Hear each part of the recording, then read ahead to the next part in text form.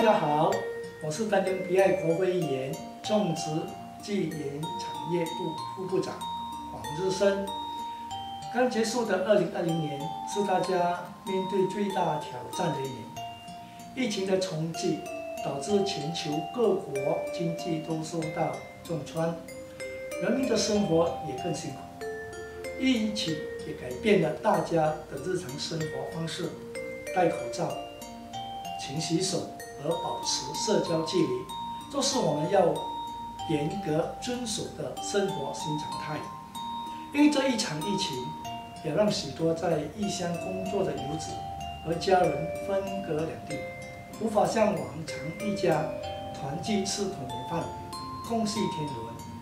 无论你在何处，我都真诚的祈愿，远在他乡的游子们安安康康，一起盼疫情赶快结束，能早日与家人团圆。